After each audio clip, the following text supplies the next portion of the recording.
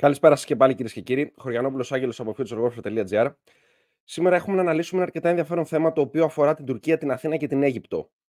Και η βάση του όλου θέματος είναι η ενεξελίξη κατάσταση και ο, η νέα σειρά εμφυλίου, η νέα φάση του εμφυλίου, ο οποίος θα ξεκινήσει πιθανότατα στην Λιβύη, καθώς ήδη εδώ και μία εβδομάδα έχουμε τις δυνάμεις του Χάφταρ να αναδιατάσσονται, να παίρνουν μέρος σε κάποιες ασκήσεις και να πιάνουν σημεία κλειδιά για τα περάσματα με τα σύνορα της Λιβύης με άλλες αφρικανικές χώρες και βλέπουμε μια τεράστια κινητικότητα από αυτή την άποψη, καθώς επίσης έχουν διασπάσει και τις όποιες διπλωματικές και πολιτικές σχέσεις αλλά και στρατιωτικούς μηχανισμούς αποκλιμάκωσης είχαν με την uh, κυβέρνηση του Σάραζ. Με αφορμή αυτό, αυτή τη στιγμή, ο κύριος Βασίλης Νέδος, έχοντας πληροφορίες βέβαια από την, uh, κάποιες αξιόπιστες διπλωματικές και πολιτικές πηγές πιθανότατα, έβγαλε ένα πάρα πολύ ενδιαφέρον κείμενο το οποίο αφορά την προσπάθεια επαναπροσέγγισης Άγκυρας και Αιγύπτου με αφορμή όλες αυτές τις εξελίξεις που έχουμε στην Αφρική γενικότερα. Και πάμε να δούμε αυτή τη στιγμή το πάρα πολύ ενδιαφέρον κείμενο. Το κείμενο είναι αυτό. Ελπίζω να φαίνεται κανονικά. Προβληματίζει η προσέγγιση Τουρκίας-Αιγύπτου και τι ανησυχεί την Αθήνα. Ωραία, εξαιρετικά απλό, εξαιρετικά κατανοητό.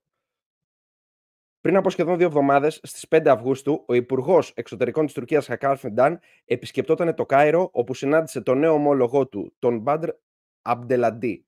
Ο συγκεκριμένος είναι ο Υπουργός Εξωτερικών της Αιγύπτου, ο νέος Υπουργός Εξωτερικών της Αιγύπτου. Οι συνομιλίες ανάμεσα στις δύο πλευρές φάνηκε να κυλούν καλύτερα από το αναμενόμενο. Μάλιστα, συμφωνήθηκε να πραγματοποιηθεί και ανώτατο Συμβούλιο Συνεργασίας μεταξύ Αιγύπτου και Τουρκίας με τη συμμετοχή κατά το δυνατόν περισσότερων υπουργών με χαρτοφυλάκια που έχουν σχέση με την οικονομία. Η σύγκληση ανώτατου Συμβουλίου Συνεργασίας προποθέτει βέβαια την προηγούμενη συνάντηση ανάμεσα στους Προέδρους Φατά Χαλσίση και Ρετζέπ Ταγίπ Ερντογάν. Υπολογίζεται ότι η συγκρότησή του μπορεί να συμφωνηθεί σε επικείμενη επίσκεψη του κυρίου Σίση στην Άγκυρα, η οποία συζητείται εδώ και αρκετούς μήνες, δίχως όσο αυτή τη στιγμή έχει υπάρξει κάποια κατάληξη, κάποια συγκεκριμένη ημερομηνία. Η πλέον πιθανή περίοδος πραγματοποίησης μιας τέτοιας συνάντησης είναι το επερχόμενο φθινόπωρο, αν κάτι τέτοιο επιβεβαιωθεί. Πάρα πολύ σημαντικό αυτό. Τι βλέπουμε, τι αναλύουμε από αυτή, από αυτή την πρώτη παράγραφο. Θέλουν αφενός μεν και οι δύο πλευρές ψάχνουν έναν τρόπο, ένα μηχανισμό να γίνει η υψηλωτά του επίπεδου συνάντηση που είναι εφικτό να γίνει μεταξύ του Προέδρου της Αιγύπτου, του Αλ Σίση και του Ρετζέπτα Ταγί Περντογάν. Ωραία. Ξεκάθαρο. Ένα και αυτό. Δηλαδή θέλουν να μιλήσουν οι ανώτατοι θεσμικοί και εκτελεστικοί φορείς και των δύο κρατών, έτσι ώστε να συζητηθούν κάποια ζητήματα. Πού μπορούμε να δούμε αυτά τα ζητήματα, πού μπορούμε να, από πού μπορούμε να αντλήσουμε πληροφορίες για, για αυτά τα ζητήματα; Πρωτίστως από τη σύγκληση του Ανώτατου Συμβουλίου Συνεργασίας της Αιγύπτου και Τουρκίας, με τη συμμετοχή όσο περισσότερων υπουργών γίνεται με χαρτοφυλάκια που έχουν σχέση με την οικονομία. Όσοι θυμάστε, λόγω του εμφυλίου πολέμου στη Λιβύη, κυρίως λόγω αυτού, αλλά και λόγω άλλων κρίσεων που αφορούσαν τη Μέση Ανατολή, η Αίγυπτος και η Τουρκία, κυρίως λόγω του ότι υποστήριζαν διαφορετικές πλευρές στο συγκεκριμένο εμφύλιο, σταματήσανε σε πολύ μεγάλο βαθμό να έχουν επίσημες οικονομικές σχέσεις. Και ξεκίνησαν να έχουν μια μαύρη έτσι, ροή εσόδων συνεργασίας και μια μαύρη οικονομική σχέση μεταξύ τους. Και τώρα προσπαθούν ξανά σε ανώτατο βαθμό να την ξαναδημιουργήσουν αυτή την οικονομική σχέση και την οικονομική συνεργασία την οποία είχαν. Η συνεργασία αφορούσε κυρίως πρώτες ύλε και αφορούσε υλικά όπως ε, μάλινα ρούχα που ε, εξήγαγε η Τουρκία προς την Αίγυπτο, μαλλί αυτό καθ' αυτό, ε, σιτηρά και κάποια άλλα τέτοια προϊόντα. Αλλά ήταν υπαρκτή, επλήγησαν και οι δύο οικονομίες λόγω του συγκεκριμένου πολέμου στη Λιβύη και της αποστασιοποίησης των κυβερνήσεων μεταξύ τους και αυτή τη στιγμή βλέπουμε ότι επιχειρείται μία διαδικασία και μία προσπάθεια επαναπροσέγγισης στον οικονομικό τομέα.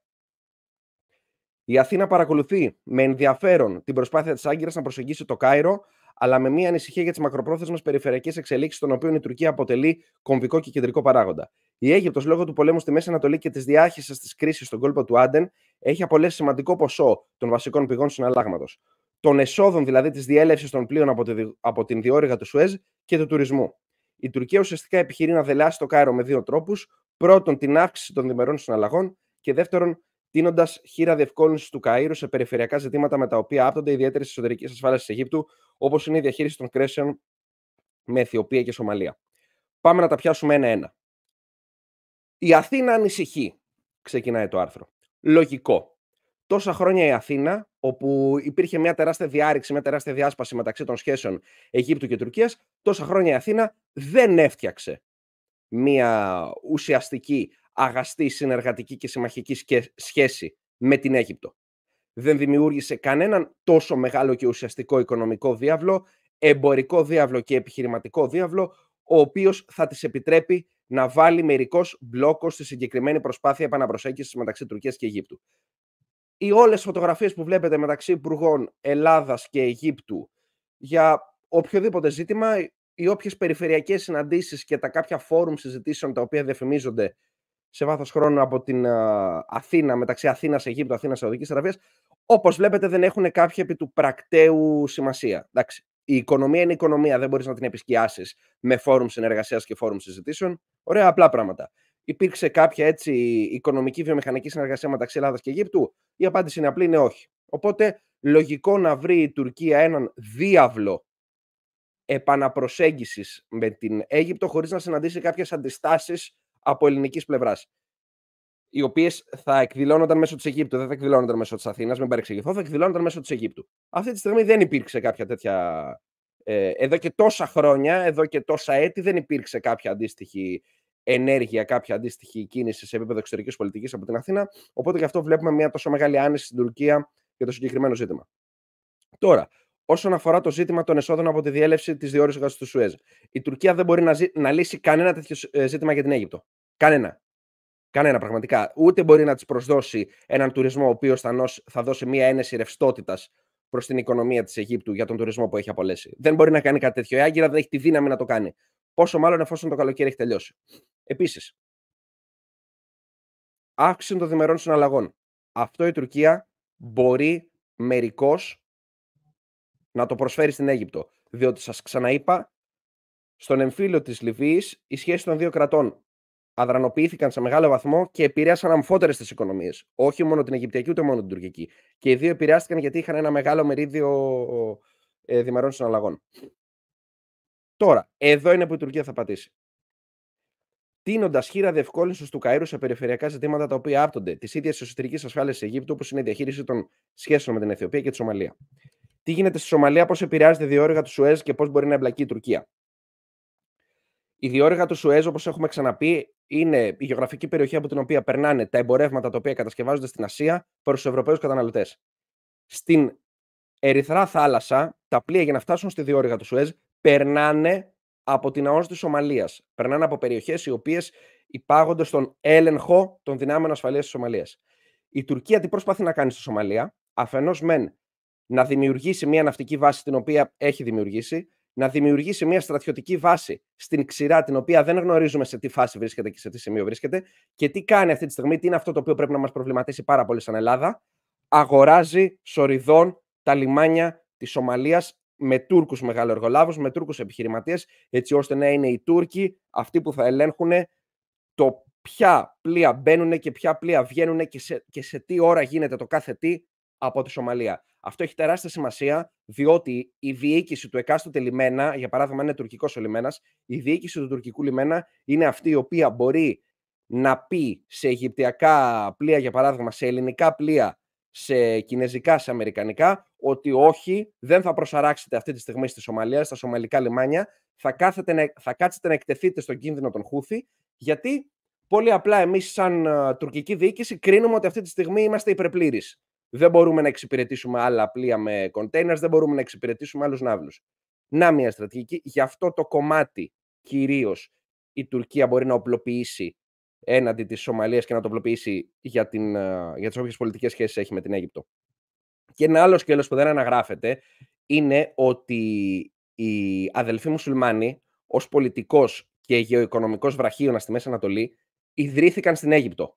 Η μήτρα τους είναι η Αίγυπτος. Αυτή τη στιγμή η οικονομική διοίκηση, η χρηματοοικονομική διοίκηση των αδελφών μουσουλμάνων έχει πάει στο Κατάρ και η πολιτική διοίκηση στην Τουρκία στην Άγκυρα. Είναι εξαιρετικά απλό. Αυτό εντάξει το γνωρίζετε, δεν χρειάζεται να επεκταθούμε επί τούτου.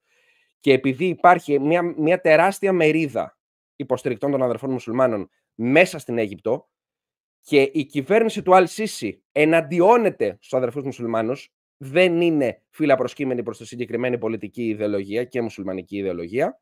Για αυτόν τον λόγο η Τουρκία μπορεί να μοχλεύσει αυτό το ακροατήριο εντός της Αιγύπτου και να του κόψει τις γωνίες και να το φέρει σε μια εκδοχή την οποία θέλει ο Αλσίση για να μπορεί να έχει την ισχύ που θέλει μέσα στο κράτος του. Διότι κακώς, ε, κακά τα ψέματα, η ισχύ της κυβερνήσεως ε, Αλσίση έχει αποδυναμωθεί και λόγω της οικονομικής κρίσης, λόγω του πολέμου στην Ερυθρά θάλασσα και λόγω του πολέμου στη Μέση Ανατολή και λόγω του, των βομβαρδισμών αυτή τη στιγμή από το Ισραήλ προς ε, στόχους στη Συρία. Υπάρχει μια τεράστια γκάμα εξελίξεων και λόγω των επιχειρήσεων και του εμφυλίου στο Σουδάν. Υπάρχει μια τεράστια γκάμα εξελίξεων η οποία δυστυχώς ευνοεί την κοινότητα των αδερφών μουσουλμάνων μέσα στην Αίγυπτο, δεν ευνοεί τις ελληνοαιγυπτιακές σχέσεις και ευνοεί την ενίσχυση και την αναδιαμόρφωση των τουρκο-αιγυπτιακών σχέσεων. Αυτή είναι μια πραγματικότητα στην οποία αυτή τη στιγμή δεν φταίει η ελληνική πλευρά. Δυστυχώς η ελληνική διπλωματία δεν έχει τόσο μεγάλους διάβλους επιρροής επί των περιφερειακών ζητημάτων. Θα έπρεπε να έχει, δυστυχώς δεν έχει και τα γεγονότα αυτή τη στιγμή φέρνουν την Αίγυπτο και την Τουρκία σχετικά κοντά. Τώρα, το ισχυρό επιχείρημα είναι μια παράγραφος η οποία κατά την ταπεινή μου γνώμη δεν χρειάζεται περαιτέρω, δεν χρειάζεται περαιτέρω ανάλυση. Μπορείτε να πάτε να τη διαβάσετε, δεν έχει κάτι ουσιαστικό να πει. Το κοινό ενδιαφέρον για τη Σομαλία. Υπάρχει ένα πεδίο στο οποίο για διαφορετικούς λόγους η Άγκυρα και το Κάιρο έχουν κάποια κατανόηση και συντονισμό και συνδέεται άμεσα με τα ελληνικά συμφέροντα. Αυτό που είπαμε πιο πριν. Πρόκειται για την κατάσταση που εξελίσσεται στο κέρα της Αφρικής και συγκεκριμένα στη Σομαλία. Η Σομαλία είναι μια χώρα σημαντική για την ασφάλεια της Αιγύπτου και για την προσπάθεια της Τουρκίας να προβάλλει μια εικόνα περιφερειακής δύναμης με μακρύ χέρι. Η εδαφική ακαιρεότητα της Σομαλίας έχει για την Αίγυπτο μεγάλη σημασία. Γι' αυτό και πριν από λίγες ημέρες υπεγράφη ανάμεσα στις δύο πλευρές και αμυντική συμφωνία. Λόγος γι' αυτό είναι η πολύ προχωρημένη συμφωνία που υπέγραψε η Αιθιοπία τον, Ιαν, τον Ιανουάριο με την αποσχισμένη Σομαλιλάνδη που δίνει στις Αιθιοπιακές Ένοπλες Δυνάμεις πρόσβαση στο λιμάνι της Μπερμπέρα για 50 χρόνια. Αντάλλαγμα είναι η αναγνώριση της Σομαλιλάνδης από την Αιθιοπία, η διείσδυση της Τουρκίας στη Σομαλία, όπου έχει στρατηγικά χαρακτηριστικά, καθώς από τον κόλπο του Άντεν περνάει περίπου το 12% του διεθνούς εμπορίου. Στο Μογκαντισού λειτουργεί στρατιωτική βάση των τουρκικών ενόπλων δυνάμεων, η οποία κόστησε 50 εκατομμύρια δολάρια στην Άγκυρα και έχει κύριο σκοπό την εκπαίδευση Σομαλών. Στη βάση υπηρετούν 342 Τούρκοι στρατιωτικοί από το, και από το 2017 έχουν εκπαιδευτεί 17.000 άτομα. Η Τουρκία έχει παραδώσει στην κυβέρνηση της Σομαλίας και όπλα. Η Τουρκία υπέγραψε με τη Σομαλία και συμφωνία για την εκμετάλλευση πιθανών υδρογοναθράκων. Το τουρκικό ερευνητικό πλοίο Roots Race αναμένεται να πλεύσει στα τέλη Σεπτεμβρίου, αρχές Οκτωβρίου, συνοδευόμενο από πέντε πολεμικά πλοία, υποστήριξη και πολεμικά πλοία του τουρκικού πολεμικού ναυτικού. Η Άγκυρα θα έχει αποκλειστικά δικαιώματα έρευνας και εξόρυξης υδρογοναθράκων σε τρία τεμάχια στον Ινδικό ωκεανό. Το Roots Race αναμένεται να ολοκληρώσει τις σεισμικές έρευνες σε κάποια από τα, από τα τεμάχια έως το τέλος του έτους, προκειμένου, εφόσον υπάρξουν κάποιες ενδείξεις, να ακολουθήσουν το 2025 περαιτέρω γεωτρήσεις. Πάρα πολλά μπράβο στον κύριο Βασίλη Νέδο. Μόνο αυτές οι δύο παράγραφοι μπορούν να σταθούν, επιβεβαιώνουν πλήρως όλα, όλα όσα έχουμε πει για το ρόλο του πολεμικού ναυτικού στον Ινδικό ωκεανό. Το έχω πει, το λέω και το ξαναλέω. Η Τουρκία αυτή τη στιγμή δημιουργεί ένα ολόκληρο δίκτυο θανάτου μεταξύ δορυφορικών συστημάτων, μη επανδρομένων συστημάτων, αέρα, θαλάσσης, υποβρύχια και, ε, και επιφανείας μαζί με το Ανατολού, μαζί με επενδύσεις σε Roots Race, μαζί με επενδύσεις στο πολεμικό ναυτικό, μαζί με επενδύσεις σε δορυφορικά δίκτυα, για να κάνει ακριβώς αυτό το οποίο λέει το άρθρο ότι θα κάνει από το Σεπτέμβριο του 2025. Ακριβώς αυτό το πράγμα. Ακριβώς αυτό. Είναι αυτό το οποίο συζητάμε και στο, και στο X και στο κανάλι στο YouTube και στο TikTok από όπου με παρακολουθείτε. Η Τουρκία δεν χτίζει μόνο πολεμικό ναυτικό, δεν χτίζει μόνο μία επανδρομένα αεροσκάφη, χτίζει ένα ολόκληρο δίκτυο θανάτου το οποίο θα μπορεί να προβάλλει την γεωπολιτική ισχύ, τη γεωοικονομική ισχύ της Άγκυρας σε όλη την Ανατολική Μεσόγειο μέχρι τον Ινδοειρηνικό. Αυτή τη στιγμή μας το λέει ο κύριος Νέδος και μπράβο του με τον πιο ομό τρόπο ότι το Roots Race με πέντε πολεμικά πλοία θα φτάσουν μέχρι τον Ινδικό ωκεανό για ενεργειακές έρευνες. Μπορούσε εδώ να τελειώνει η εκπομπή. Πραγματικά εδώ μπορούσε να τελειώνει η εκπομπή, δεν έχουμε κάτι άλλο να πούμε. Ακριβώς αυτή είναι η στρατηγική της Τουρκίας. Όλα αυτά, όλα αυτά που ακούτε, ότι χτίζει ένα πολεμικό ναυτικό για το Αιγαίο, ότι χτίζει μία επανδρομένα αεροσκάφη για να χτυπήσει μόνο την Ελλάδα, είναι άλλα λόγια να αγαπιόμαστε. Και συγγνώμη που υιοθετώ αυτόν τον uh, απλοϊκό τύπο για την ανάλυση αυτών των ζητημάτων, αλλά είναι απλά τα πράγματα, παιδιά. Δεν, είναι, δεν χρειάζεται να έχετε σπουδάσει διεθνή οικονομία, διεθνή σχέση και γεωπολιτική για να το γνωρίζετε. Χτίζει ένα ολόκληρο, έναν ολόκληρο πολιτικό διάβλο, ο οποίος θα ελέγχει το, τους επιχειρηματικούς τομείς, οι οποίοι επιχειρημα, οι μεγαλοεπιχειρηματίες της Τουρκίας αυτή τη στιγμή τι κάνουν, επενδύουν σε αγορά λιμένων στη Σομαλία και κρίσιμων υποδομών στην Αφρική, έτσι ώστε να μπορέσει η Τουρκία να στείλει τα όποια Ανατολού με μαζί με εγχώριε μονάδες του πολεμικού ναυτικού που έχει χτίσει και με εγχώρια με επαδρομένα αεροσκάφη, αλλά και να είναι και σε συνεργασία με τους Turksat, τους δορυφόρους που έχει σηκώσει μαζί με τη SpaceX, έτσι ώστε να μπορούν να χτίζουν ένα ολοκληρωμένο στρατιωτικό δίκτυο, πληροφοριακό δίκτυο, επικοινωνικό, επικοινωνιακό δίκτυο, επιχειρηματικό δίκτυο και πολιτικό δίκτυο προβολής τουρκικής ισχύως σε ολόκληρη την Ανατολική Μεσόγειο. Είναι όσο απλό όσο το ακούτε. Το ίδιο θέλει να κάνει και για την Λιβύη, το ίδιο θέλει να κάνει και για το Ισραήλ, να είναι αυτή η χώρα η οποία θα κρίνει το αν χρειάζεται προστασία το Ισραήλ ή όχι. Τι θέλω να καταλάβετε αυτή τη στιγμή; Τι έλεγα πριν από ένα χρόνο και τσακωνόμασταν εδώ πέρα σε βιντεάκια και σε σχόλια και και και; Αυτό που έλεγα είναι ότι... Πώς να το διατυπώσω τώρα σωστά για να μην, ε, για να μην παρεξηγηθούμε. Αφενός μένω ότι η Ελλάδα πρέπει να χτίσει ένα πολεμικό ναυτικό για να επιχειρεί μέχρι τον Ινδοειρηνικό. Ξέρετε που, είναι, που, που φτάνει ο Ινδοειρηνικός; Ο, Ινδοειρηνικός φτάνει μέχρι νότια της Ινδίας και υπάρχουν διαστάσεις του μέχρι τις Φιλιππίνες. Ωραία, μέχρι την Ταϊβάν. Το είχα πει και τότε, το λέω και το ξαναλέω. Στόχος του πολεμικού ναυτικού πρέπει να είναι εγγυητής της περιφερειακής ασφάλειας της δύσης ως πολιτική οντότητα, ως ευρωγενής οντότητα, να είναι η Ελλάδα συνεργατικά με τις ΗΠΑ και τη Μεγάλη Βρετανία, οι οποίες θα εγγυώνται τη σταθερότητα και την ασφάλεια του διεθνούς εμπορίου. Όχι η Τουρκία. Αυτή τη στιγμή, ποια χώρα βλέπουμε να το κάνει αυτό στην πράξη, στη Σομαλία, η Τουρκία. Τι σας είχα πει και τσακωνόμασταν, ότι οι Ηνωμένες Πολιτείες φεύγουν από τη Μέση Ανατολή, την Ερυθρά Θάλασσα και την Ανατολική Μεσόγειο. Φεύγουν. Δεν θα έχουν την παρουσία που είχαν επί πολέμου Ιράκ. Δεν θα έχουν την, την παρουσία που είχαν επί πολέμου στο Αφγανιστάν. Τελείωσαν αυτά. Δεν ενδιαφέρονται οι Ηνωμένες Πολιτείες για την ενέργεια στη Μέση Ανατολή. Πολλοί λέτε, βλέπετε τις συμφωνίες συνεργασίας μεταξύ Τουρκίας και Ιράκ, Τουρκίας και Συρίας και λέτε για ποιο λόγο οι ΗΠΑ τα αφήνουν αυτά, αυτά να γίνονται, για ποιο λόγο οι ΗΠΑ επιτρέπουν στην Τουρκία να ελέγχει ένα μερίδιο της ενέργειας της Μέσης Ανατολής; Γιατί δεν ενδιαφέρονται οι ΗΠΑ. Όχι επειδή είναι αδύναμες. Επειδή δεν ενδιαφέρονται. Σε λίγο οι ΗΠΑ δεν θα ενδιαφέρονται ούτε για τον EastMed. Και σας το λέω με πλήρη επίγνωση των λέξεων που χρησιμοποιώ. Δεν ενδιαφέρονται οι Ηνωμένες Πολιτείες για τη Μέση Ανατολή για ποιο λόγο πήγανε στη Μέση Ανατολή, για να πάρουν πετρέλαια, χρυσό και μερικό έλεγχο του εμπορίου. Πήραν τα πετρέλαια, πήραν το χρυσό, πήραν το μερικό έλεγχο του εμπορίου, πλέον είναι ενεργειακά ανεξάρτητες. Τέλος ιστορίας. Δεν έχει σημασία η Μέση Ανατολή για τις ΗΠΑ. Τελείωσαν αυτά. Κενό ισχύως. Ποιος μπήκε στο κενό ισχύως; Όποια χώρα θελήσει να μπει. Πάρα πολύ απλά. Υπάρχει ένα κενό. Όπως το λέει και η λέξη. Στην Ερυθρά Θάλασσα. Τι, τι φύλασαν οι ΗΠΑ τα παιδιά τόσα χρόνια στην Ερυθρά Θάλασσα; Φύλασαν την εμπορική διασύνδεση μεταξύ του μεγαλύτερου στρατηγικού ανταγωνιστή των ΗΠΑ, δηλαδή της Κίνας, και του μεγαλύτερου συμμάχου των ΗΠΑ σε επίπεδο εμπορίου της Ευρώπης. Δηλαδή, οι ΗΠΑ φύλασαν τις εμπορικές ροές και διασυνδέσεις του μεγαλύτερου ανταγωνιστή τους με το μεγαλύτερο συμμαχό τους. Κυριολεκτικά αυτό γινόταν. Και σας τα έλεγα εδώ και ένα χρόνο. Φεύγουν οι Ηνωμένες Πολιτείες από την Ερυθρά Θάλασσα. Δεν με ακούγα, το θεωρούσατε αστείο οι ΗΠΑ δεν έχουν κανένα όφελος από το να είναι αυτές οι οποίες θα φυλάνε την εμπορική διασύνδεση του μεγαλύτερου συμμάχου τους, της Ευρωπαϊκής Ένωσης, με τον μεγαλύτερο εχθρό τους, με τον μεγαλύτερο συστημικό ανταγωνιστή τους εντός του διεθνούς συστήματος, της Κίνας.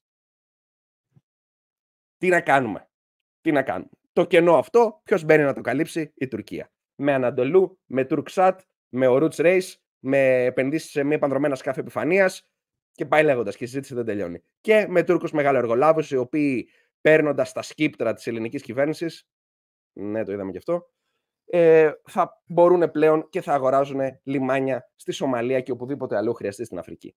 Τόσο απλά τα πράγματα. Λυπάμαι. Που θα το πω, αλλά ο κύριος Νέδος στο συγκεκριμένο ζήτημα έχει όλα τα δίκια με το μέρος του και μπράβο του που τα είπε τόσο ψύχρεμα και τόσο κομψά. Αυτά που διαβάσατε στο άρθρο της καθημερινής στις δύο τελευταίες παραγράφους προσπαθήστε να τα διευρύνετε με αυτά που έχετε ακούσει από αυτό το κανάλι, να τα, να τα έτσι, να προσθέσετε δεδομένα από αυτά που έχετε ακούσει και να καταλάβετε ότι πλέον η σύνδεση, ότι πλέον σε αυτό που έχουμε ονομάσει πέμπτη γενιά πολέμου, ο επιχειρηματικός τομέας με τον πολιτικό τομέα, το στρατιωτικό τομέα και την εισαγωγή τεχνητής νοημοσύνης στην πολεμική διαδικασία, επιτρέπουν όλοι αυτοί οι τομείς και οι φορείς ισχύως να λειτουργούν σαν μία ενιαία οντότητα παροχής γεωστρατηγικής επιρροής σε, οποιαδήποτε, σε οποιοδήποτε γεωγραφικό σημείο του διεθνούς συστήματος. Το ελληνικό πολεμικό ναυτικό κάνει το καράβι, δεν θα έχει τις μονάδες επιφανείας οι οποίες χρειάζονται για έλεγχο αυτών των εμπορικών ροών. Οι Ηνωμένες Πολιτείες φεύγουν και ποιοι μπαίνουν αυτή τη στιγμή μέσω των προγραμμάτων τους σε επενδύσεις στο πολεμικό ναυτικό, η Ιταλία και η Τουρκία. Καμία άλλη χώρα δυστυχώς. Ούτε η Γαλλία, που δυστυχώς ακούγαμε, δεν κατάλαβα γιατί νομίζαμε ότι η Γαλλία θα επενδύσει στην Ανατολική Μεσογείο. Αυτά δεν ξέρω πώς έχουν προκύψει. Τα πράγματα είναι πιο δύσκολα. Τα πράγματα θα γίνουν χειρότερα πριν γίνουν καλύτερα. Δυστυχώς για την παρουσία της χώρας μας στο διεθνές σύστημα, αλλά και για την παρουσία της Ευρώπης αυτής καθ' αυτή. Σε βάθος χρόνου, αυτό το οποίο βλέπετε να γίνεται αυτή τη στιγμή, αυτές οι δύο παράγραφοι του Βασίλη ε, Νέδου σε βάθος χρόνου, σημαίνουν ότι μπορεί ως Ευρωπαϊκή Ένωση για κάποια είδη εμπορίου να, να στηριζόμαστε στη φύλαξη και στους όρους που θα επιβάλλει το τουρκικό πολεμικό ναυτικό και το τουρκικό κράτος προκειμένου να φυλάσει τα πλοία αυτά. Γιατί ποια άλλη χώρα θα είναι διατεθειμένη να ματώσει στην Ερυθρά θάλασσα για, να ελέγχει την μεταφορά εμπορευμάτων από την Ασία προς τη Δύση. Αυτά είχα να πω για σήμερα. Το σημερινό επεισόδιο θέλω να το ακούσετε ολόκληρο και να το ακούτε και σε βάθος χρόνου, διότι περιγράφει ακριβώς αυτά τα οποία γίνονται και χτίζονται στην Ανατολική Μεσόγειο και αφορούν τη χώρα μας.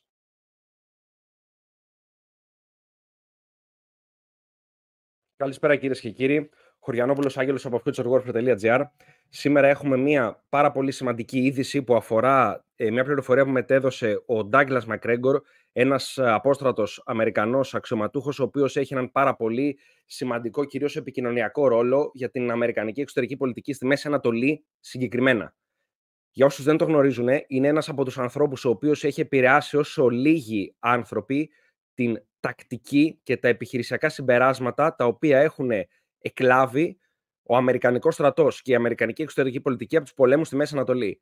Είναι ένας από τους ηγείτορες του δόγματος Mission Command για το Αμερικανικό στράτευμα διοίκηση δια της αποστολής στον ελληνικό στρατό, το οποίο δόγμα το έχει αναλύσει σε τεράστιο βαθμό ο κύριος Γρήβας, αν θέλετε να παρακολουθήσετε συνεντεύξεις του, όπου ουσιαστικά στην πολεμική διαδικασία ένα στράτευμα πρέπει να εστιάζει πάρα πολύ σε μικρούς, αυτόνομους και αυτοδιοικούμενους και ανεξάρτητους θύλακες, όπου θύλακες είναι κάποια τακτικά κλιμάκια που ξεκινάνε από 7 μέχρι 20-50 άτομα και βάλε, τα οποία θα είναι ενεργειακά αυτόνομα, πληροφοριακά αυτόνομα, θα ζουν με δικά τους μη επανδρομένα αεροσκάφη, δικά τους δίκτυα επιτήρησης, δικά τους περιφερόμενα πυρομαχικά, ε, δικές τους δυνάμεις πυροβολικού και πάει λέγοντας και με αυτόν τον τρόπο σπάει την πυραμιδοειδή, ε, την πυραμιδοειδή δομή του Αμερικανικού και του οποιοδήποτε νατοικού στρατεύματος και από το να την έχει σε μια τέτοια διάταξη και διαμόρφωση απλώνει τις μονάδες στο χώρο, τους δίνει έναν πάρα πολύ έντονο βαθμό αυτοδιοίκησης και πρωτοβουλίας, λήψης ρεαλιστικών και ακαριαίων αποφάσεων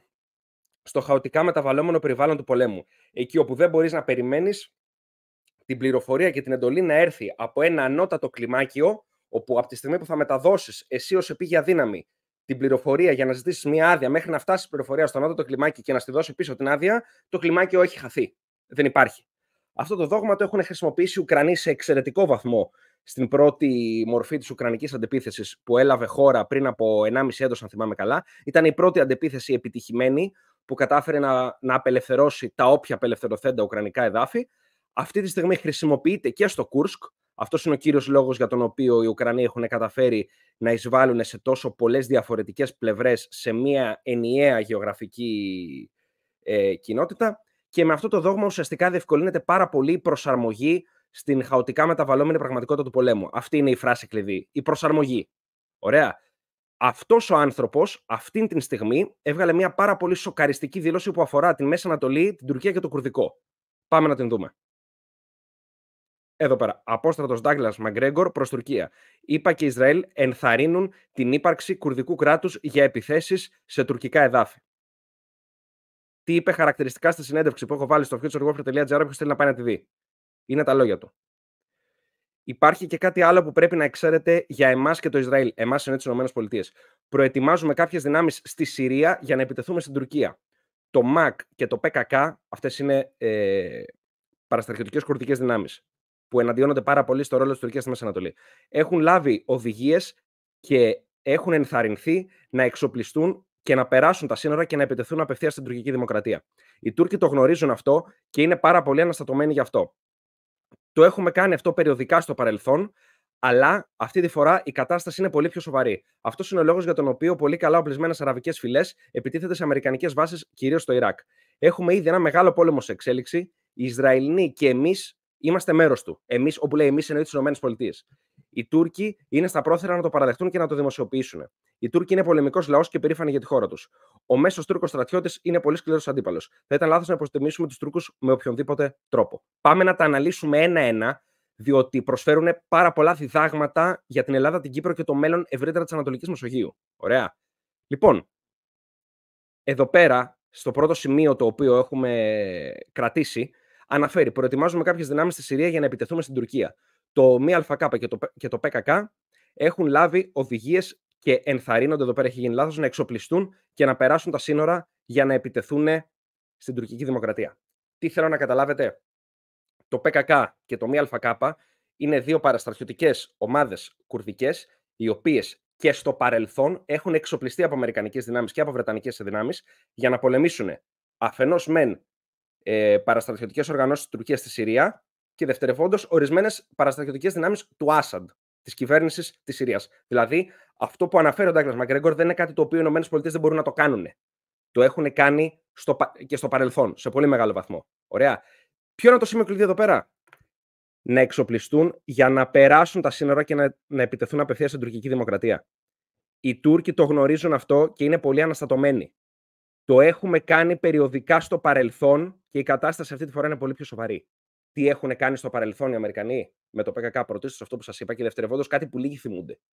Το ΠΚΚ, κατά τη διάρκεια του Συριακού εμφυλίου, για να σαμποτάρει την παρουσία των φιλοτουρκικών δυνάμεων στην Συρία, των παράνομων φιλοτουρκικών δυνάμεων στη Συρία, δεν λέω πώς λεγόταν η φιλοτουρκική οργάνωση για να μην μου ρίξουν το βίντεο από τον αλγόριθμο.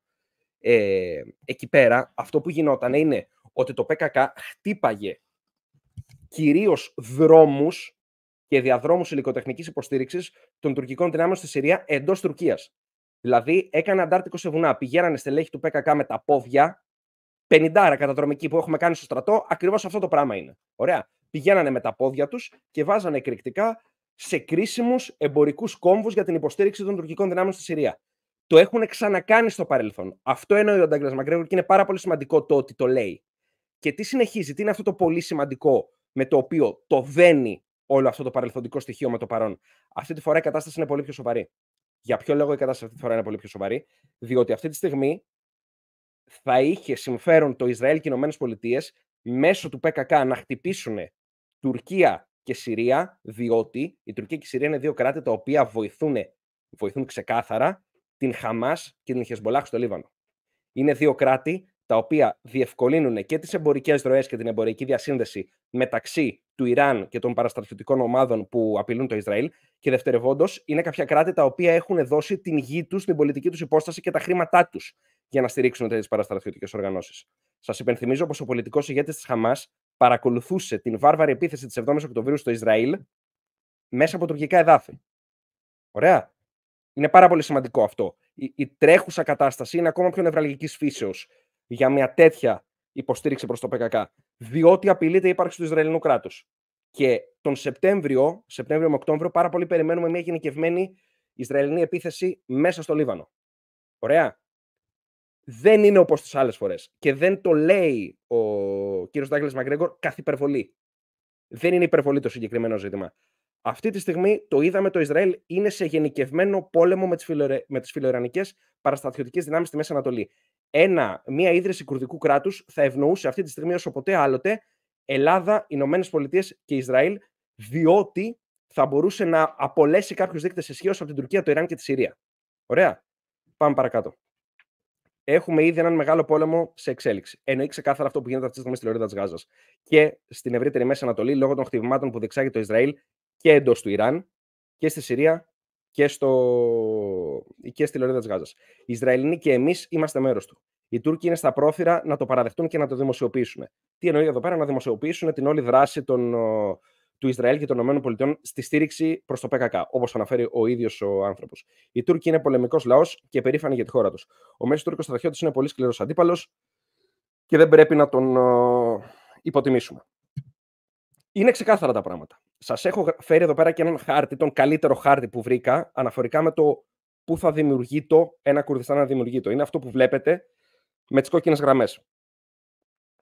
Το Κουρδιστάν, όσοι δεν, τον γνωρίζουν, δεν το γνωρίζουν, είχε αναφερθεί και στον περιβόητο χάρτη Blood Borders, που είχαν εκδώσει, αν θυμάμαι καλά, η New York Times ή η Washington Post, όπου περιέγραφε ένα νέο χάρτη περί ειρήνης και ασφάλειας στη Μέση Ανατολή. Όπου τι θα γινόταν, θα δημιουργεί το ένα κουρδικό κράτος, θα έπαιρνε κάποια εδάφη από την Τουρκία. Εδώ πέρα τα εδάφη που βλέπετε να ανήκουν στο κουρδικό κράτος και όχι στην Τουρκία είναι αρχαίες κουρδικές περιοχές. Ωραία, δεν είναι κάτι καινούριο και κατοικούν σε βαθμό 70% κουρδικής καταγωγής πολίτες εδώ πέρα. Εντάξει, είναι γνωστό αυτό στο ελληνικό κοινό, δεν είναι πλέον ταμπού να το λέμε. Ε, μια τεράστια μερίδα του τουρκικού πληθυσμού είναι Κούρδοι σε ένα ποσοστό άνω των 10 εκατομμυρίων δηλαδή. Άνω των, ο, ο ένας στους 8 με ένας στους 10 έχει κουρδικές ρίζες για να μην πω και τίποτα μεγαλύτερο. Όπως βλέπετε, ένα ενδιαμορφώσει κουρδικό κράτος κατά τα αμερικανικά πρότυπα όπως είχαν εμφανίσει στον χάρτη Blood Borders περιλαμβάνει ένα μέρος της Συρίας περιλαμβάνει το περιβόητο Ιρακινό Κουρδιστάν, εδώ πέρα που βλέπετε το κίτρινο μέρος, στο οποίο πλέον έχει εισβάλει ο τουρκικός στρατός και δέχεται σφυροκοπήματα και από FPV drone, όπως έχουμε δει και σε προηγούμενα βίντεο, να πάτε να τα δείτε, όσο δεν τα έχετε δει. Περιλαμβάνει και ένα μέρος της Τουρκίας και ένα μικρό μέρος του Ιράν. Ωραία. Οι Ιρανοί έχουν βρει τρόπο να έχουν υπό τον έλεγχό τους τους Κούρδους. Τώρα, ένα τεράστιο πρόβλημα για τους Κούρδους και για την μη ύπαρξη κουρδικού κράτους, το οποίο το αγνοούν οι Έλληνες αναλυτές, είναι η ίδια η φύση των Κούρδων ως πολιτική οντότητα αυτή καθ' αυτή. Δηλαδή, η μία μερίδα των Κούρδων θέλει να δημιουργηθεί ένα φιλοαμερικανικό κουρδικό κράτος, μια άλλη μερίδα θέλει να δημιουργηθεί ένα φιλορωσικό κουρδικό κράτος, μια άλλη μερίδα ένα φιλοτουρκικό κουρδικό κράτος, μια άλλη ένα φιλοϊσραηλινό κουρδικό κράτος και μια άλλη ένα φιλοϊρανικό κουρδικό κράτος. Με καμία υπερβολή ότι λέω. Δηλαδή, και η ίδια η πολιτική ε, διαφοροποίηση αυτού του λαού είναι τόσο έντονη, όπου πλέον δεν επιτρέπει σε τόσο μεγάλο βαθμό το να καταλήξουν σε μια κοινή λύση αναφορικά με το ποια θα είναι η χώρα η οποία θα βοηθήσει θα είναι η χώρα που θα είναι ο σημαντικότερο εταίρος και οικονομικός εταίρος κυρίως για τη δημιουργία αυτού του κράτους. Και αυτό είναι ένα πρόβλημα των Κούρδων σαν Κούρδων. Δεν φταίνε γι' αυτό, δεν φταίει καμία ξένη δύναμη για αυτό το πρόβλημα. Φταίνε οι Κούρδοι σαν λαός. Σας το αφήνω αυτό να το έχετε στα υπόψη σας, γενικά γιατί στο μέλλον θα δούμε πάρα πολλά ζητήματα αναφορικά με την uh, ύπαρξη ή την μη ύπαρξη εν τέλει του κουρδικού κράτους και για τον ρόλο που θα έχει στις σχέσεις μεταξύ Ισραήλ και Τουρκίας. Διότι αυτή τη στιγμή το Ισραήλ, να είστε σίγουροι, σε βάθος χρόνου, σε βάθος διετίας, δεν θα ξεχάσει το ποιοι στήριξαν την Χαμάς και τη Χεσμολάχ στις προσπάθειες αυτές να εκδιώξουν τον Ισραηλινό λαό από την περιοχή του. Αυτά είχαμε να πούμε για σήμερα. Σας ευχαριστώ πάρα πολύ που παρακολουθήσατε. Θα τα πούμε σε επόμενο βίντεο με αντίστοιχα ζητήματα. Και δεν θέλω να ξεχνάτε τα λόγια που είχε πει ο εκπρόσωπος τύπου του Ισραηλινού στρατού, του IDF. Είχε πει ότι θα κυνηγήσουμε όλους όσους συμμετείχαν στις επιχειρήσεις της Χαμάς την 7η Οκτωβρίου εναντίον του Ισραήλ. Από τη στιγμή που έχουμε αδιάψευστα στοιχεία και δεν τρέπονται να το πούνε οι Τούρκοι, το λένε ότι στηρίζουν τον απελευθερωτικό αγώνα των Παλαιστινίων, το λέει ο κύριος Ορτογάν, το λέει η Τουρκία σαν χώρα, σαν κρατική οντότητα, δεν το λέω εγώ. Από τη στιγμή που το λένε και πολύ ψηλά ιστάμενοι Τούρκοι αξιωματούχοι, να είστε σίγουροι ότι σε βάθος διετίας, τριετίας, μπορεί και περισσότερο, οι Ισραηλινοί θα κινήσουν την όποια διαδικασία μπορούν να κινήσουν, έτσι ώστε να βρούνε έναν τρόπο για τη δημιουργία ενός έστω και μικρού κουρδικού κράτους, το οποίο θα είναι υπό την κυδαιμονία πιθανότατα είτε του Ισραήλ είτε των Ηνωμένων Πολιτειών, είτε μιας μίξης αυτών. Σε περίπτωση που δεν γίνει κάτι τέτοιο, να είστε σίγουροι, το Ισραήλ και η Τουρκία θα έχουν βρει άλλον έναν κοινικό και τελείως ψυχρό τρόπο να συνεπάρχουν με μια σχέση win-win, όπου αμφότεροι θα βγαίνουν κερδισμένοι στη Μέση Ανατολή. Υπάρχουν και τα δύο σενάρια, να είστε σίγουροι. Οι Τούρκοι, όπως έχουν αποδείξει, δεν είναι ένας. Η τουρκική εξωτερική πολιτική, όπως έχει αποδείξει, δεν είναι μια εξωτερική πολιτική η οποία διεκπεραιώνεται πάνω σε οράματα και πάνω σε θρησκείες όπως προσπαθούν να μας πείσουν πάρα πολύ εδώ πέρα στη χώρα. Είναι ψυχρή, είναι κανονιστική, λειτουργεί με όρους ισχύως με όρους οικονομίας, με όρους ενέργειας και με όρους σκληρής ισχύως, δηλαδή με το στράτευμα. Δεν λειτουργεί με θρησκευτικά πρόσημα και θρησκευτικές εκφάνσεις για να πετύχει τους σκοπούς της. Είναι ψυχρή, ρεαλιστική και πιστεύω σε βάθος χρόνου μπορεί να προσπαθήσει, αν δει το ενδεχόμενο δημιουργίας κουρδικού κράτους, να πιέσει πάρα πολύ προς το να βρει ένα διάβολο επικοινωνίας με το Ισραήλ σε αυτήν τη νέα γεωγραφία της Μέσης Ανατολής, όπως θα αναδεθεί, διότι και η Γάζα και ο Λίβανος όταν ξαναρχίσουν να ξαναχτίζονται, ωραία, θα μπουν πάρα πολλά κεφάλαια μέσα από Ηνωμένα Αραβικά Εμμυράτα, Κατάρ, πιθανότατα και Τουρκία. Και το Ισραήλ θα έχει τον πάνω, λόγο, το πάνω χέρι συγγνώμη, στον έλεγχο αυτών των κεφαλαίων και στην μορφή των επενδύσεων.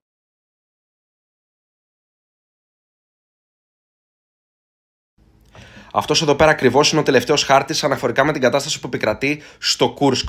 Όπως βλέπετε, σε σύγκριση με τις προηγούμενες ημέρες, οι Ρώσοι έχουν καταλάβει πάρα πολλά εδάφη, κυρίως σε αυτόν εδώ πέρα τον τομέα και σε όλο αυτό το αχνό κόκκινο το οποίο βλέπετε, που είναι σαν πόδι το οποίο παλαιότερα ανήκε στην Ουκρανία πριν από 3-4 μέρες, αν θυμάμαι καλά. Όπως και αυτό εδώ το σημείο, το οποίο ανήκει και πάλι στην Ουκρανία. Το, με μπλε έντονο χρώμα φαίνονται, φαίνονται οι γεωγραφικές περιοχές στις, οποία, στις οποίες υπάρχει μεγαλύτερη έτσι, συγκέντρωση ουκρανικών δυνάμεων. Είναι περιοχές στις οποίες θέλουν γενικότερα οι Ουκρανοί να, κρατήσουμε, να κρατήσουν ναι, από ό,τι καταλαβαίνουμε. Εδώ πέρα με τις τρίενες βλέπετε πως έχουν στηθεί τα ουκρανικά παρατηρητήρια τα οποία όπως βλέπετε από την ε, μορφολογία μπορούν να ελέγξουν πάρα πολύ καλά και τα ανατολικά και τα δυτικά της όποιας ρωσικής προέλασης ε, υφίσταται αυτή τη στιγμή η όλη περιοχή.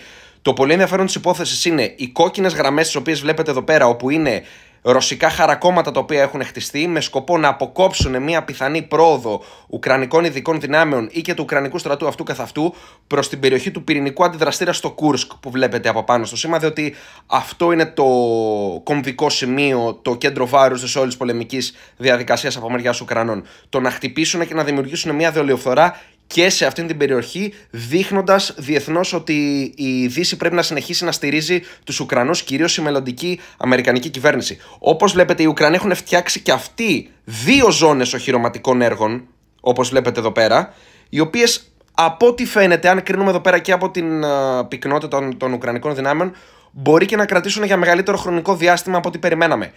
Εδώ πέρα να ξέρετε υπάρχουν περίπου 4 με 5.000 άτομα από ουκρανικής πλευράς αυτή τη στιγμή στην περιοχή. Υπάρχει πολύ έντονο το αποτύπωμα της Λεγιώνας των Ξενών της Γεωργίας, όπου μιλάμε για έναν μισθοφορικό στρατό πάρα πολύ αποτελεσματικό με πρόσβαση σε σύγχρονα μέσα. Και πέραν όλων αυτών, υπάρχει και μια πολύ καλά οργανωμένη επικοινωνιακή στρατηγική από μεριά Ουκρανίας, όπου έχουν μπει μέσα με τα MRAP, τα αμερικανικά οχήματα μεταφοράς ε, προσωπικού, έχουν μπει με τα Marder, τα γερμανικά, πάρα πολύ σημαντικό επικοινωνιακό σημείο και αυτό, και βαράνε και χιμάρς από πίσω, αμερικανική. Μιλάμε για τρία δυτικά όπλα, τα οποία πράγματι έχουν βοηθήσει πάρα πολύ τους Ουκρανούς στο συγκεκριμένο κομμάτι του, των Deep Battle Operations που προσπαθούν να διεξάγουν αυτή τη στιγμή και του δόγματος της διοίκησης δια της αποστολής που εφαρμόζουν. Θα δούμε πώς θα ολοκληρωθεί όλη η διαδικασία και αν θα ολοκληρωθεί η ανακατάληψη του Κούρσκ. Πιστεύω ότι θα ολοκληρωθεί. Το χρονικό βάθος στο οποίο θα γίνει κάτι τέτοιο δεν το ξέρουμε. Η Wagner που ανακοίνωσε ότι φεύγει από τη Λευκορωσία για να πάει στο Κούρσκ δεν έχει ολοκληρώσει την ε, διαδικασία μετατόπισης αυτή. Οπότε θα δούμε πώς θα εξελιχθεί όλη η κατάσταση. Είναι ακόμα πάρα πολύ χαοτική. Υπενθυμίζω ότι όλος ο σκοπός της επιχείρησης είναι να δεσμεύσουν την επόμενη Αμερικανική Προεδρία με κάποια τετελεσμένα η Ουκρανία για να συνεχιστεί η όποια οικονομική και εξοπλιστική στήριξη από όλα τα νοτοϊκά κράτη προς την Ουκρανία.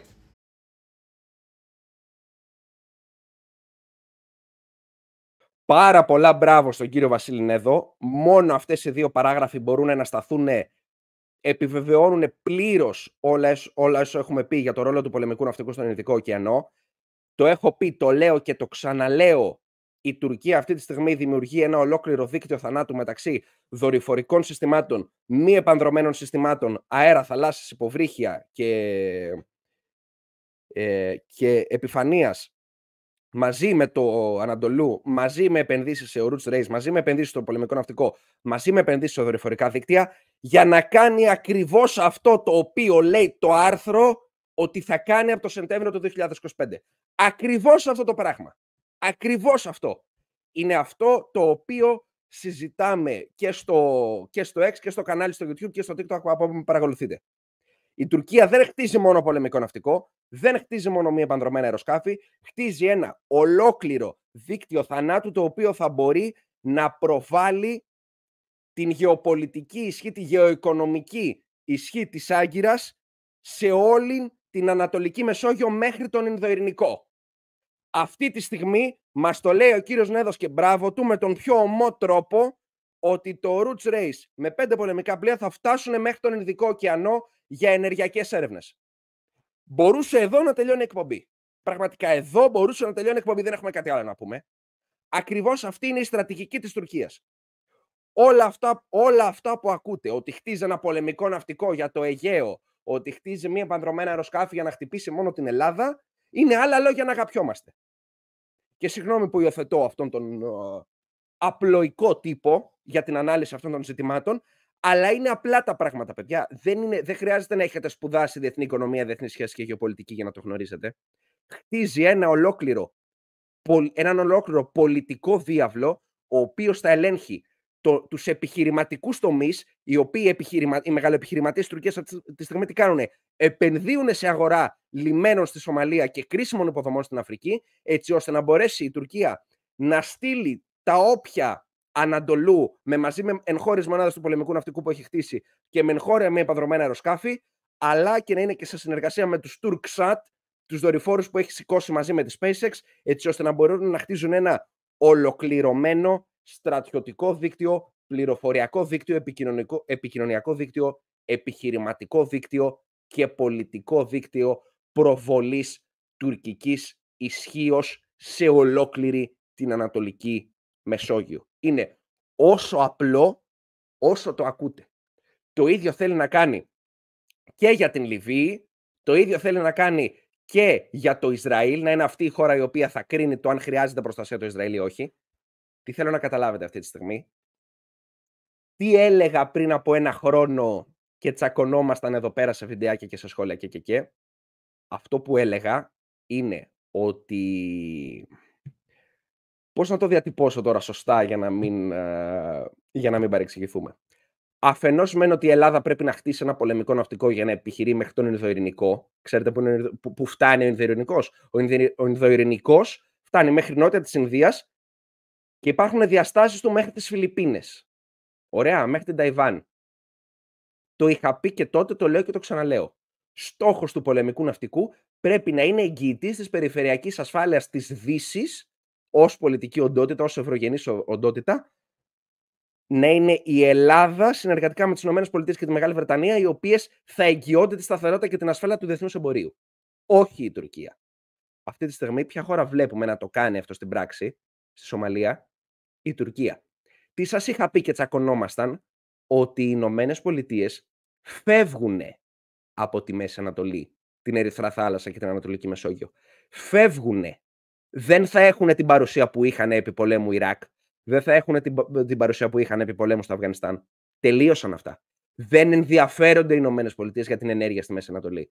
Πολλοί λέτε, βλέπετε τις συμφωνίες συνεργασίας μεταξύ Τουρκίας και Ιράκ, Τουρκίας και Συρίας και λέτε για ποιο λόγο οι ΗΠΑ θα αφήνουν αυτά, αυτά να γίνονται, για ποιο λόγο οι ΗΠΑ επιτρέπουν στην Τουρκία να ελέγχει ένα μερίδιο της ενέργειας της Μέσης Ανατολής; Γιατί δεν ενδιαφέρονται οι ΗΠΑ. Όχι επειδή είναι αδύναμες. Επειδή δεν ενδιαφέρονται.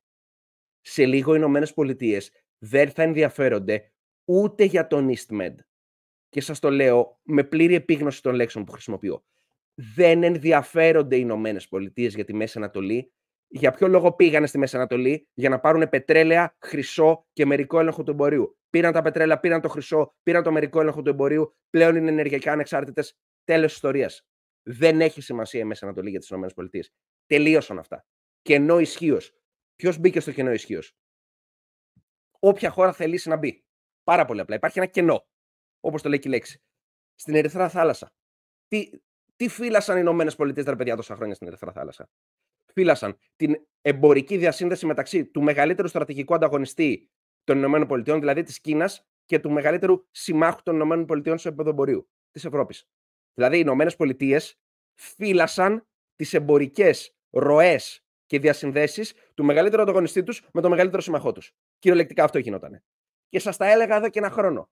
Φεύγουν οι Ηνωμένες Πολιτείες από την Ερυθρά Θάλασσα. Δεν με ακούγα, το θεωρούσατε αστείο. Οι ΗΠΑ δεν έχουν κανένα όφελος από το να είναι αυτές οι οποίες θα φυλάνε την εμπορική διασύνδεση του μεγαλύτερου συμμάχου τους, της Ευρωπαϊκής Ένωσης, με τον μεγαλύτερο εχθρό τους, με τον μεγαλύτερο συστημικό ανταγωνιστή τους εντός του διεθνούς συστήματος, της Κίνας. Τι να κάνουμε; Τι να κάνουμε; Το κενό αυτό, ποιος μπαίνει να το καλύψει, η Τουρκία. Με Ανατολού, με Τουρκσάτ, με ο Roots Race, με επενδύσεις σε μη επανδρομένα σκάφη επιφανείας και πάει λέγοντας και η συζήτηση δεν τελειώνει. Και με Τούρκους μεγαλοεργολάβους, οι οποίοι παίρνοντας τα σκύπτρα της ελληνικής κυβέρνησης, ναι, το είδαμε και αυτό, ε, θα μπορούν πλέον και θα αγοράζουν λιμάνια στη Σομαλία και οπουδήποτε αλλού χρειαστεί στην Αφρική. Τόσο απλά τα πράγματα. Λυπάμαι που θα το πω, αλλά ο κύριος Νέδος στο συγκεκριμένο ζήτημα έχει όλα τα δίκια με το μέρος του και μπράβο του που τα είπε τόσο ψύχρεμα και τόσο κομψά. Αυτά που διαβάσατε στο άρθρο της καθημερινής στις δύο τελευταίες παραγράφους προσπαθήστε να τα διευρύνετε με αυτά που έχετε ακούσει από αυτό το κανάλι, να τα, να τα έτσι, να προσθέσετε δεδομένα από αυτά που έχετε ακούσει και να καταλάβετε ότι πλέον η σύνδεση, ότι πλέον σε αυτό που έχουμε ονομάσει πέμπτη γενιά πολέμου, ο επιχειρηματικός τομέας με τον πολιτικό τομέα, το στρατιωτικό τομέα και την εισαγωγή τεχνητής νοημοσύνης στην πολεμική διαδικασία, επιτρέπουν όλοι αυτοί οι τομείς και οι φορείς ισχύω να λειτουργούν σαν μία ενιαία οντότητα παροχής έτσι γεωστρατηγικής επιρροής σε, οποιαδήποτε, σε οποιοδήποτε γεωγραφικό σημείο του διεθνούς συστήματος. Το ελληνικό πολεμικό ναυτικό κάνει το καράβι, δεν θα έχει τις μονάδες επιφανεία οι οποίες χρειάζονται για έλεγχο αυτών των εμπορικών ροών. Οι Ηνωμένες Πολιτείες φεύγουν και ποιοι μπαίνουν αυτή τη στιγμή μέσω των προγραμμάτων τους σε επενδύσεις στο πολεμικό ναυτικό, η Ιταλία και η Τουρκία. Καμία άλλη χώρα δυστυχώς. Ούτε η Γαλλία, που δυστυχώς ακούγαμε, δεν κατάλαβα γιατί νομίζαμε ότι η Γαλλία θα επενδύσει στην Ανατολική Μεσόγειο. Αυτά δεν ξέρω πώς έχουν προκύψει. Τα πράγματα είναι πιο δύσκολα. Τα πράγματα θα γίνουν χειρότερα πριν γίνουν καλύτερα. Δυστυχώς για την παρουσία της χώρας μας στο διεθνές σύστημα, αλλά και για την παρουσία της Ευρώπης αυτής καθ' αυτή. Σε βάθος χρόνου, αυτό το οποίο βλέπετε να γίνεται αυτή τη στιγμή, αυτές οι δύο παράγραφοι του Βασίλη ε, Νέδου σε βάθος χρόνου, σημαίνουν ότι μπορεί ως Ευρωπαϊκή Ένωση για κάποια είδη εμπορίου να στηριζόμαστε, να στηριζόμαστε στη φύλαξη και στους όρους που θα επιβάλλει το τουρκικό πολεμικό ναυτικό και το τουρκικό κράτος προκειμένου να φυλάσει τα πλοία αυτά. Γιατί ποια άλλη χώρα θα είναι διατεθειμένη να ματώσει στην Ερυθρά Θάλασσα για, να ελέγχει την μεταφορά εμπορευμάτων από την Ασία προς τη Δύση. Αυτά είχα να πω για σήμερα.